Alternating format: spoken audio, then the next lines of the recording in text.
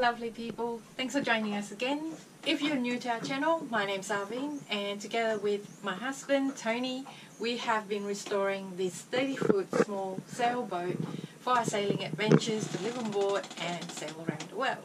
Sailing Wanderlust is a social enterprise.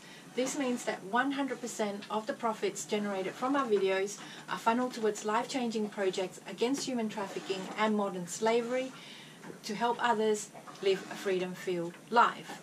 Now you can help by joining the Wanderlust tribe and to find out more, click on the link above. If you're new to our channel, welcome. Remember to subscribe, you can just hit the subscribe button below and remember to hit the bell icon so you get notified every time a new video is out. Alrighty, so today we're going to talk about the new electrical system on our small and humble sailboat. One of the biggest risks and concerns we had about rewiring this sailboat is that although we had educated ourselves and read up on how to actually rewire the sailboat, um, and we had done a few small electrical projects by ourselves, the risk of a fire on a small wooden sailboat is just far too great to leave it to our own amateur hands. So, with the help of our fellow friend and sailor Martin, who's a qualified electrician, he supervised us and helped us through this rewiring project. Now we started off by gutting all the wiring on board this sailboat. Yep, every inch of wiring was removed, so we had a clean slate to start with. We also then got rid of the lead acid batteries that were in this sailboat. So there were four of them in total and they weren't secured in, but we had them removed and replaced with new batteries. The issue with lead acid batteries in a small space is that it can release hydrogen sulfide, which is a highly poisonous and flammable gas. So having lead acid batteries on board um, could be dangerous because if they do let off those dangerous gases, it could build up in the hull, um, which is flammable. And also, if we're underway and we're heeled over and the lead acid batteries do leak, then they would leak into our hull, um, which may damage our hull, obviously not to mention damaging our health and also the environment. We have now installed two of these 100 amp hours deep cycle AGM batteries by Ritar, one on the port side and one on the starboard side. So we chose these batteries because they're 100% sealed, non-gassing and maintenance free. This means that they will never leak acid even if they're damaged. They're not the cheapest batteries, but they were the right choice for us. If you're interested in these batteries, you can find out more by clicking the link in the description below.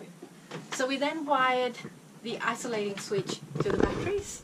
We allocated battery 1 to be our primary battery for the engine and we allocated battery number 2 to be our house battery. This way we can ensure that we never run battery 1 flat. Um, so if we need our engine we can actually get it started. And we will rely on battery number 2 solely for the house items such as the cabin lights, the toilet, powering our laptops, etc. etc. Now we get to our custom switchbox panel that we made using some marine plywood and we created it to fit the contours of our sailboat. With Martin's expertise, the wires were all crimped, um, we ran them through and we've connected them and now that it's a little darker, we're going to try out and see if it works. So we're going to try the cabin lights um, as the first one and then we'll try and see if we can switch on the anchor lights, deck light and steam light. So here goes nothing. So we'll turn on the battery. One is for the engine. We can run both if we wanted to, but we're only going to run loop number two, which is for the house. We're going to switch on at the panel and if all things are right, well we did have an expert helping us, so hopefully this works.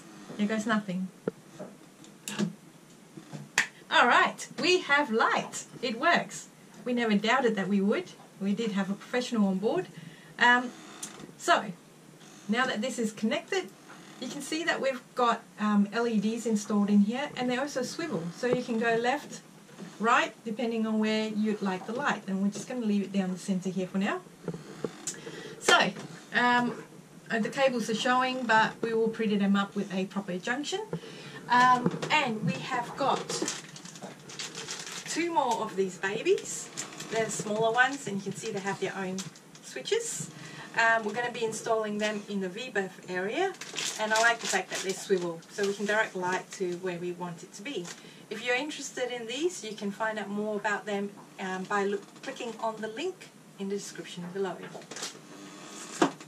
There's still too much light right now to test the anchor light and the deck lights out there um, but we know they're quality lights. As long as they're connected properly, which we have no doubt that they are, we did have a proper electrician helping us, um, they should be quite bright and as bright as this, hopefully. Ow, that hurt my eye. Alright, so there you have it folks. We now have lights. This is not the full electrical um, works that need to be done, but it's our first step towards creating our electrical connections. Um, we still have obviously the V-berth lights, we need to connect to shore power, um, get our fridge and freezer in. We did have a fridge freezer that we were going to install in here that we normally use for camping, but that's way too large and it just wouldn't fit in the position that we've got it allocated for. And because it's a small boat, we've got nowhere else for it to go, so we're going to have to purchase another one. But once we have all electricals connected, GPS, etc., and uh, deck fittings, then hopefully we'll be ready to go and head out sailing soon. Alrighty, so thanks for joining us. If you liked the video, remember to give it a thumbs up and say hello in the comments below. Till next time, see you later. Bye.